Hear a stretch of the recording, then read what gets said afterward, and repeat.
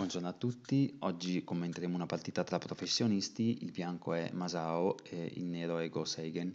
che è uno dei eh, giocatori eh, del gioco del Go eh, più famosi eh, di sempre, uno dei più forti di sempre, senza ombra di dubbio, eh, uno dei precursori, del, anzi fautori oserei dire, dello Shinfuseki che abbiamo già visto in qualche video mh, precedente eh, è appunto uno dei migliori giocatori tra il 1930 e grosso modo il 1950. Eh, Sagan morì eh, nel 2014 eh, a 100 anni, ma mh, sfortunatamente per lui, ehm, quando iniziarono gli anni 60, fu coinvolto in un terribile incidente che praticamente gli impedì eh, di giocare eh, a Go eh, e quindi non riusciva a trovare la, la concentrazione, la, la, forza d'animo per mettersi al Goban e quindi la sua carriera di fatto finì negli anni 60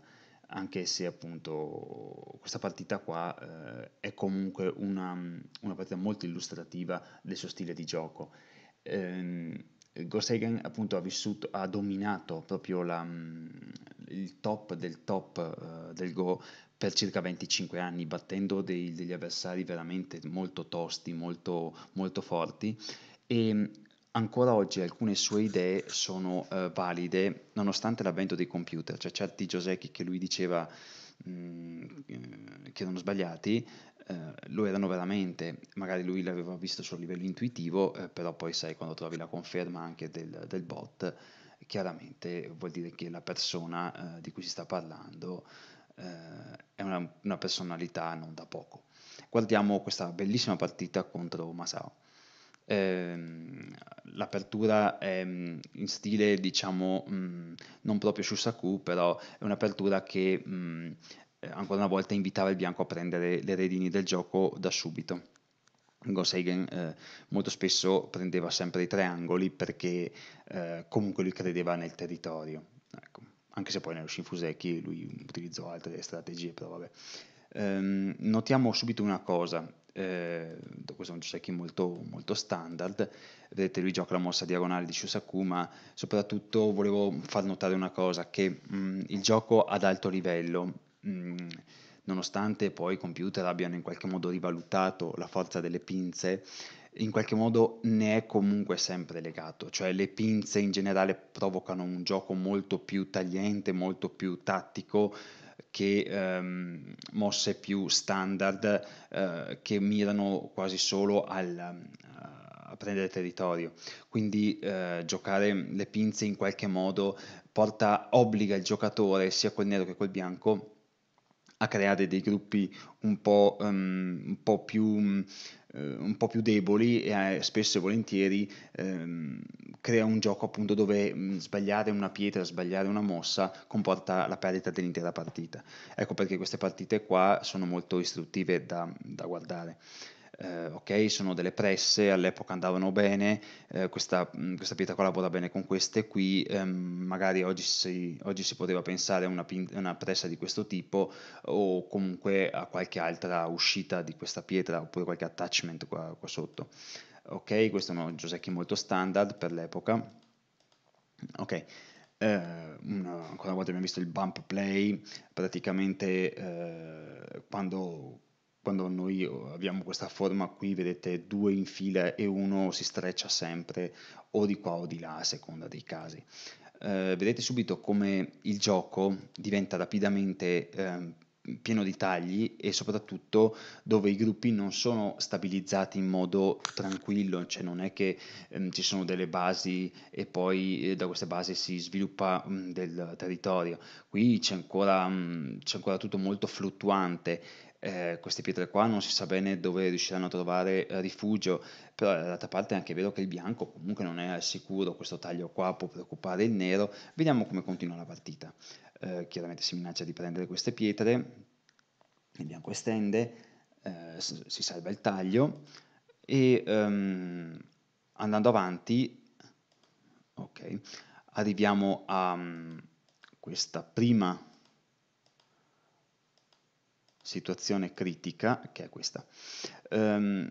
Goseigen gioca in modo molto um, solido, cioè evita uh, di uh, creare complicazioni che comunque non saranno evitate perché la posizione è troppo tagliente, ci sono troppi tagli possibili, però um, prima di continuare qui il computer uh, suggerisce un approccio di questo tipo che in effetti ottiene gli, praticamente gli stessi risultati di prima, solo che il nero prende più territorio.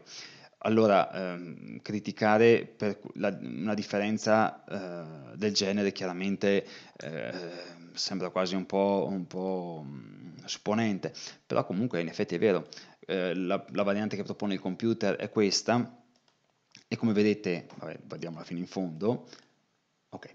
eh, come si vede, a differenza di quello che vedremo in partita, qui il nero ha preso più territorio, non c'è dubbio, mentre quando il nero gioca in questo modo qua, chiaramente il territorio è più piccolo. Eh, queste mosse qua mh, sono più eh, tipiche appunto di chi riesce a calcolare con precisione molte mosse avanti, perché qua bisognerebbe valutare ovviamente un taglio di questo tipo, che è tutt'altro che facile da fare a tavolino. Ovviamente i professionisti ce la fanno, intendiamoci, eh, però eh, è umano pensare un a una, una, mossa di questo genere, che è la partita continua e um, vedete che ogni volta, come vedremo dopo, il gioco è sempre incentrato sul um, avere gruppi non stabilizzati e fino alla fine della partita non si sa bene quale sia il gruppo eh, che viene catturato e quale sia il gruppo che invece riesce a salvarsi. Questa pietra qui eh, separa queste pietre da questa e vediamo che cosa succede. Prima di continuare con la mossa della partita, che eh, il computer vede come un piccolo errore, diciamo, anche se anche questa è molto spontanea, vediamo qual è la mossa giusta. Ecco, per, tra virgolette, punire questa mossa del, del nero, eh, si può pensare a questa mossa adesso e eh, più avanti, guardando proprio l'intera variazione, eh, vedete che ehm, in effetti il, il nero, il bianco, è riuscito a prendersi un pelino di più, un qualche te- piccolo territorio in più, e ha, ha, concesso qualche mossa in più al bianco, a differenza appunto del, di un'estensione più larga prima. Eh, il piano comunque ancora una volta è quella di vedere se queste pietre del nero riescono a salvarsi oppure no, quindi è abbastanza umano eh, per il giocatore col bianco pensare ad estendere queste, queste, pietre per poter mettere in difficoltà queste altre del nero. Ok, il nero ovviamente cerca di fuggire, il bianco si prende appunto il, il, il territorio che sarebbe stato in realtà più difficile da ottenere se per caso questa pietra qua fosse stata qui sotto.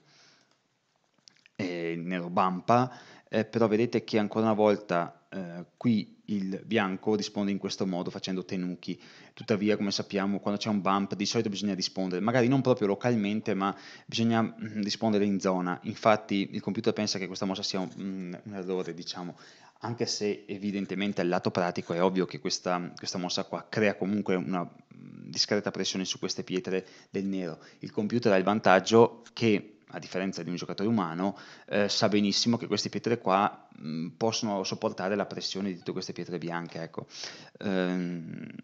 la mossa più indicata sarebbe stata questa perché il piano è proprio quello di attaccare questo gruppo e cercare quindi di, eh, di evitare che questa mossa del nero qui diventi sente in qualche modo questa mossa qua che apparentemente è Gote mette Sente su, contro questo gruppo del, del, nero. Intendiamoci, questo gruppo del nero qui non è che si riesce a prendere in 4-4-8 perché ha molte vie di fuga, però comunque questa mossa qua crea, stabilizza questa parte superiore del, del Goban e, um, e sotto... Uh, e, sotto, e rende più difficoltoso il cammino diciamo, verso la salvezza di questo gruppo. Ecco. Possiamo vedere la variante illustrativa, eh, stretch, eh, e dopo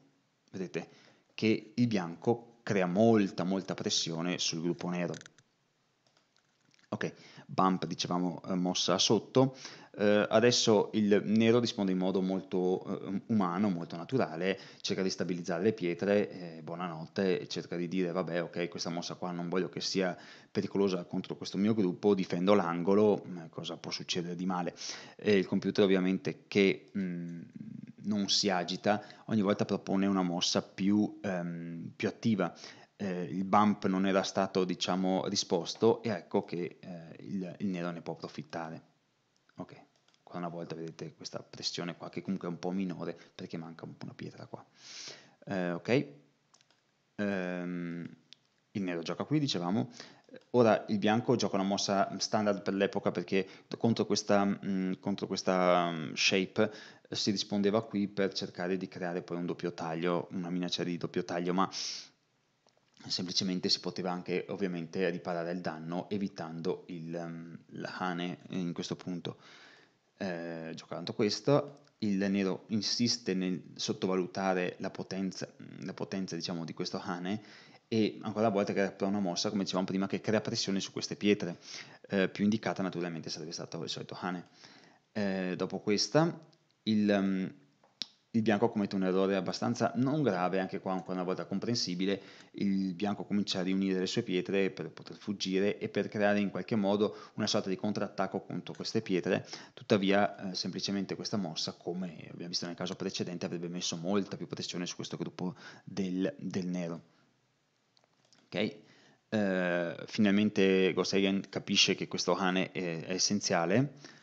uh, il bianco streccia e uh, il nero fa Tenuki. ancora una volta um, si poteva pensare a questo, questa mossa per attaccare l'angolo e la mancata pietra del bianco in G16 che avrebbe messo in questa mossa avrebbe messo in difficoltà entrambe mh, mm, le parti. Il bianco avrebbe dovuto uscire con la, con la forma a casetta, forma L,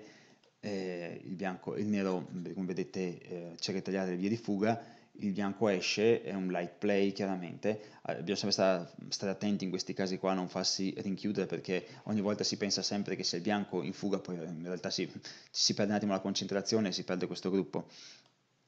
Il nero esce e vedete il nero toglie eh, la forma eh, per gli occhi al bianco e questa partita qua è più confortevole per il nero rispetto al bianco, ecco. Eh, tuttavia il nero gioca una mossa molto, molto lenta, eh, anche se in qualche modo questa mossa vuole eh, circondare queste, questo, questo, gruppo del bianco. Uh, ok, come vedete il, il circondare la, la, eh, il, gruppo del bianco non è semplice, però almeno si riesce a creare un po' di influence da questa parte. Eh, una mossa più diciamo da computer poteva essere questa. Um, una, un leaning, una, sorta, una, sorta, chiamiamo così, di leaning attack contro questo, non è proprio un leaning attack, ma una, un, un, paio di mosse forzanti qui per irrigidire la struttura del nero e poi, come al solito, accanirsi su queste, su queste pietre. Tuttavia questa mossa qua è, è, anche qui più naturale perché rinforza queste pietre e isola la, la pietra del bianco. Eh, il bianco cerca facile vita nell'angolo cerca di separare il gruppo, è molto bella questa, questa, questa forma qui, è una forma proprio da, da, da campione, il, um, il, nero wedgia e, e, il bianco ancora una volta come dicevo mette in pratica eh, l'idea base che aveva voluto fare prima, cioè cercare di uscire tagliando eh, le pietre del nero. Il nero raggruppa, il bianco estende e eh, alla fine appunto come vedete il, il bianco è diviso in due tronconi è ancora tutto da dimostrare che queste pietre qua del bianco eh, sono salve, tuttavia ovviamente come abbiamo detto è vero anche che il nero deve dimostrare che queste pietre qua sono cutting stone, cioè pietre che tagliano o, o se invece sono delle pietre che sono semplicemente catturate, ecco. Il nero ovviamente vuole rinforzarle e il bianco estende e come spesso succede, l'abbiamo già detto tante volte, i gruppi grandi difficilmente muoiono. Eh, il bianco cerca di salvare e poi pian pianino ci avviamo a, eh, a vedere una bellissima lotta eh, qua in basso a sinistra col Co. È una, una lotta molto istruttiva, eh, il nero vedete cattura la pietra, era Tari per il nero, e finalmente eh, comincia la parte istruttiva, se volete, eh, tattica. Eh, comincia un co molto importante, è un co um, che è molto largo, coinvolge diciamo soprattutto queste quattro pietre qua del, del, del, nero che cominciano a essere tagliate fuori perché queste pietre qua del bianco cominciano a essere cutting stone, eh, separating stone, quindi eh, bisogna un attimo stare attenti. Um, ok? Il bianco esce, non può, non può ovviamente permettere che queste pietre si connettano facilmente, cerca di fare Hane, ecco che eh, ora adesso il bianco e il nero sono committati in qualche modo a salvare queste pietre o trovare un'alternativa. Eh, il nero catta e però il, bianco rinforza. Come vi dicevo, queste pietre del bianco cominciano un po', comincia del nero, cominciano un po' a soffrire, queste pietre del bianco minacciano di uscire da questa parte. ecco che il, il nero è forzato a connettere e il bianco appunto comincia l'accerchiamento. Solito discorso, non è mai chiaro chi stia tentando di accerchiare chi, però in questo caso qua il bianco si vede che forse arriva un attimo prima. Il nero comincia a fare un po' di forma e, e soprattutto minaccia qua sotto. Parte il co, eh, prima minaccia, il, il bianco connette e adesso il nero salva e vedete che come dicevo prima, forse queste pietre qua sono loro a finire in trappola, chissà. Il bianco salva, quindi non è vero, e riparte il co. Il, il, il bianco cerca di, ancora una volta di, eh, di, salvare queste pietre in modo facile, ecco che il nero deve connettere e riprende il co. Ecco che il, bianco, il nero cerca di uscire, però questo gruppo qua ancora una volta è in grave pericolo. Eh, tutto sta nel cercare di capire se questo co qua si può chiudere e se questa pietra qua riesce a uscire eh, è così in effetti, si può dimostrare però è un po' troppo lungo, che ehm, il nero se per caso il bianco non, non prende provvedimenti qua riesce a uscire e il nero così ha tempo di riprendere un attimo di fiato. Eh, il cola sopra è troppo grande perché se per caso il nero non rispondesse perderebbe tutte queste e quindi questa mossa è forzata e il bianco riprende il co. Ecco che il nero cerca di uscire, il, nero, il bianco chiude, il nero taglia Ecco qua il punto che trova Masao. L'idea è quella di mettere il nero di fronte a un dilemma. Vuoi vincere il Co oppure mi lasci uscire e perdi queste pietre che all'inizio sembravano cutting stone, ma in realtà non lo sono? Um, Goseigen gioca questa tuttavia eh, una mossa più più naturale come questa, è vero che salva completamente il gruppo del, del nero, queste pietre catturate, queste escono, eh, tuttavia cos'è il problema? Il problema è che eh, il bianco semplicemente esce di qua, si può fare anche eh, di qua ovviamente, non è un problema, ma eh, il bianco esce e ha buon mercato e si, e si guadagna appunto queste pietre del nero. Eh, Seigen appunto prende qui sotto, il bianco esce, era il patto che si è osservato all'inizio, ma stavolta il nero si prende tutto l'angolo sotto, a differenza di prima. Eh, entrambi sono contenti perché hanno osservato i loro gruppi, eh, tuttavia c'era la possibilità di eh, creare ulteriore complicazione col nero. È comprensibile però che a tavolino ovviamente il nero non abbia tutto questo interesse a complicare il gioco fino a questo punto e poi ovviamente il computer lo vede bene e il, ehm, il giocatore chiaramente deve continuamente valutare, valutare, un po' di stanchezza può prendere, fare, fare brutti tiri, però questa mossa qua sarebbe stata molto forte. Questa forzata, la guardiamo rapidamente, eh, vedete che sotto c'è il co, dopo qualche scambio, ok, ecco che eh, il nero sarebbe passato in vantaggio, il computer conferma questa, questo giudizio, eh, perché queste pietre qua del nero e del bianco stavolta sono catturate, ovviamente mh, è comprensibile che il nero voglia semplicemente farla finita e pensare a giocare da qualche altra parte. Eh, piccolo problema di salvare queste tre pietre sarà presto risolto, bellissima manovra peraltro, tutto a Tessugi, però appunto non abbiamo tempo di commentarlo troppo, il bianco deve cominciare a pensare qualcosa per salvare questo gruppo, lo fa agevolmente, pip, ma in realtà non è vera pip, perché vedete che il bianco cattura definitivamente queste due pietre e il gioco si sposta qua, qua sopra, esattamente quello che consigliavamo prima. Um, il bianco si salva con la solita shape e vedete che ancora una volta c'è una, una cosa tipica delle partite tra high down player, cioè tra giocatori dan um, di alto livello eh, l'idea è che ogni volta sembra quasi che un gruppo stia per catturare un altro e poi è l'altro che cattura l'uno. Vedete che questo, mh, mm, questo, gruppo di pietre del nero con questo sembra quasi schiacciare queste tre pietre del bianco. In realtà a guardare un po' un attimo bene, forse sono queste tre pietre qua e queste che schiacciano questo gruppo del nero. Tipicissimo dei giocatori DAM, bisognerebbe cercare di farlo anche nelle nostre partite, ovviamente dal dire e il fare c'è di mezzo eh, il bianco fa forma, il quadrato, e vedete che appunto prima sembrava che fosse il bianco ad essere in difficoltà, adesso forse è il nero. Eh, il nero infatti deve fare un po' di attachment, eh, doppia pip, e adesso ancora una volta sembra quasi che il bianco non abbia, non abbia mh, possibilità di salvare il gruppo. In realtà questa mossa qua, che è una sorta di leaning attack del bianco, eh, vedete che mette in difficoltà il gruppo del, del nero stavolta e quindi mh, mm, prima sembrava che fosse il bianco ad essere schiacciato, in realtà adesso sembra che sia il nero a finire male. Eh, ok, qualche mossa di assestamento, ok, e con questa mossa qua l'attenzione si è spostata adesso sul prendere queste quattro pietre del bianco. È una mossa molto grande, in effetti lo è, e il, qua il bianco deve decidere che cosa fare. Teniamo conto che con il giochetto che si è fatto qua sotto, adesso queste pietre qua del bianco sono morte e anche queste, quindi il bianco ha un grande gruppo centrale, è anche vero però che in cambio il bianco ha tutta questa zona qua che non è, non è piccola assolutamente, eh, qualche mossa appunto di assestamento. E finalmente andiamo ad un'altra tematica di questa partita, arriviamo qua, ok, ehm, qui Goseigen gioca questo, uh, tuttavia il computer suggerisce questa che è un piccolo miglioramento per cercare di mm, prendere tutto questo territorio qua del bianco ehm, dopo qualche mossa di assestamento, notiamo subito, dicevo l'altra tematica, ok, qua lasciamo stare,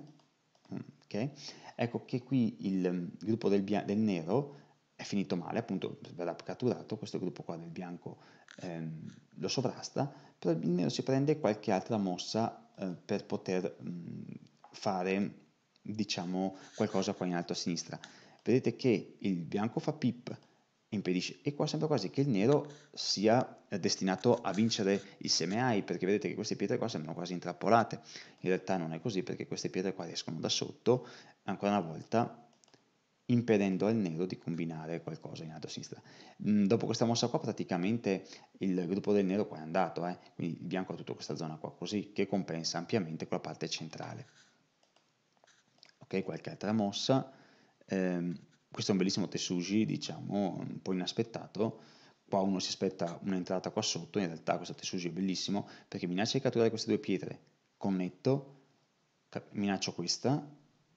devo giocare qui perché contemporaneamente sono stato tagliato fuori anche di qua,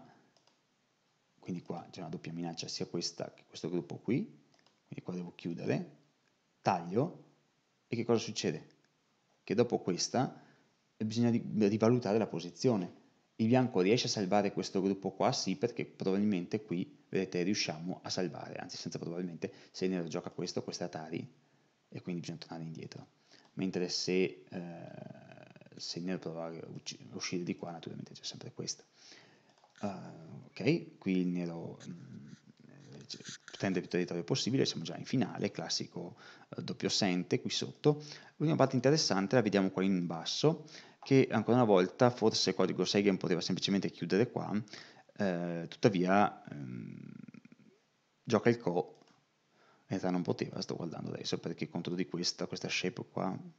ma sì, dovrebbe essere viva, però vabbè, lui comincia a complicare, ok, si prende un interessante eh, giochino eh, col co, ok, e dopo un po' appunto la partita si incanala, la vado un po' veloce, si incanala sul, um, sui binari appunto della vittoria per Goseigen. Quel computer dà 85% di probabilità di vincere a Goseigen, però vabbè, insomma, cominciava a fare i conti, in realtà il bianco è abbastanza indietro. Eh, spero che questa partita vi sia piaciuta perché è una partita mm, non molto nota di Seigen, eh, però una partita che illustra benissimo ehm, la lotta tra giocatori dan di alto livello. Eh, so- come al solito qualcuno... Mh, mm, ha sempre eh, dei dubbi su queste partite qui perché in effetti entrambi i giocatori hanno giocato bene e non si riesce a trovare il vero e proprio errore tecnico che ha portato alla sconfitta del giocatore, eh, però queste, giocat- queste, partite qua almeno hanno da un lato la grande capacità, grande capacità di essere sia divertenti ma soprattutto di essere molto istruttive. Arrivederci alla prossima puntata.